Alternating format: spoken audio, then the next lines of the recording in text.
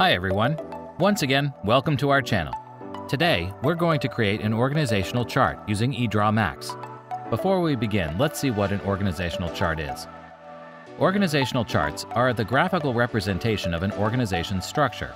Employee names and job positions are generally depicted in boxes with lines linking to other employees and departments. Now, let's create an organizational chart. Go to the File menu. Under the New section, you will find Organizational Chart and click again on Organizational Chart. Here you will find lots of templates for organizational charts. However, let's choose a blank page to create one from scratch. In the left pane, you will see a box. Drag and drop it onto the working sheet. You will see three predefined fields in the box. If you wish to define more fields, go to the Org Chart tab, select Org Data, and then the Define field. You will get a box showing a list of fields you could select. You can also define a field of your choice. Click on Define Field, enter the field, and there you find it. Select it and click OK. But you don't see it in the box. Now, again, let's go to Org Data, click on Display Options, and here you will see your custom field unchecked. Click the checkbox, and now, if you click Apply, you will see it in the box. Here, you can also change the font, the color, or move the field up and down as required.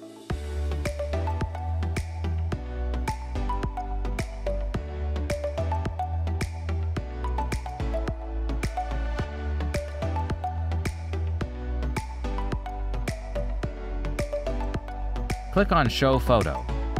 Click on OK once you're done. Now, let's add subordinates by clicking on the Action button.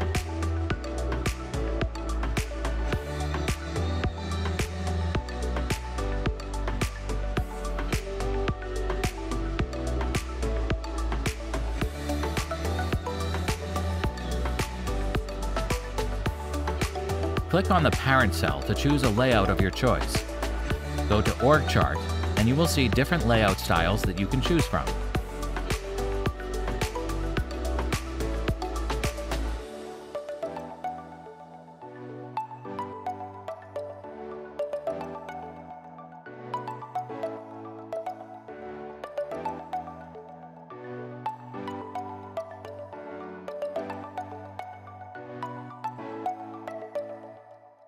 Now let's add assistants. Select the box, go to Org Chart, Add Assistant.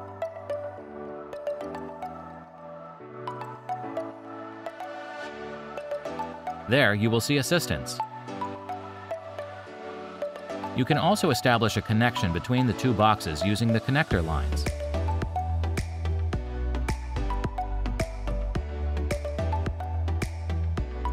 Right-click to select all text, and then go to the Home tab to change to the font, color, and size of your choice.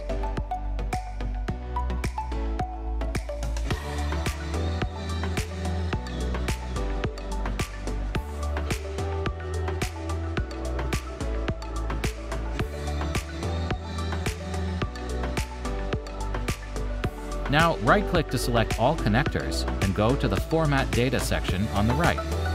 Go to the Themes section, where you can choose different connector styles.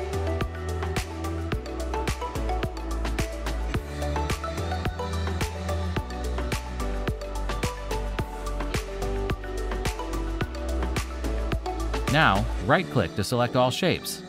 Again, go to the Theme section to choose from different themes.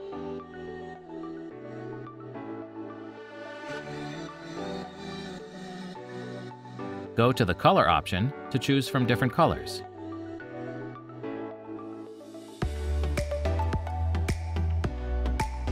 You can also change the color by choosing Color from the Fill section.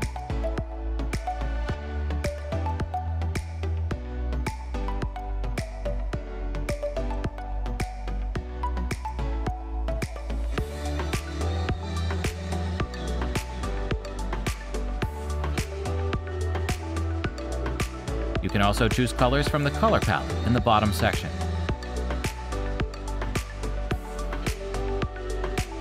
Now, let's edit the text in the box. You can do it by double-clicking on the section you want to edit. Or you can select the box, go to the Format Data section, then to Data Properties.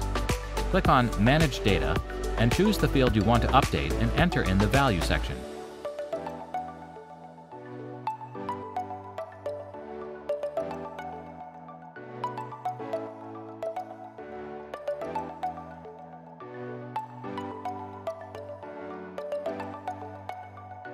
You can also add background color. Go to Page Layout, Background, and choose the color of your choice. Similarly, you can also add text. Go to the Home tab, select Text, and you can insert a text box.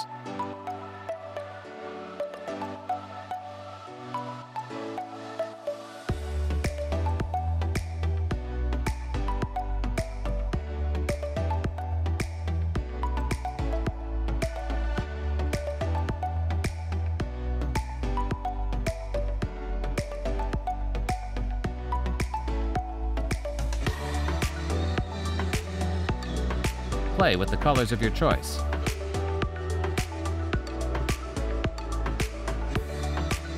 You can change the photo in the box too.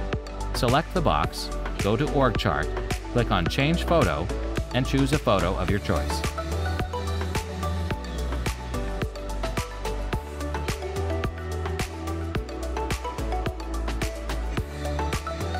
Once you are done, you can export the file. For that, go to the File tab, click on Export and Send. You can choose from multiple options available.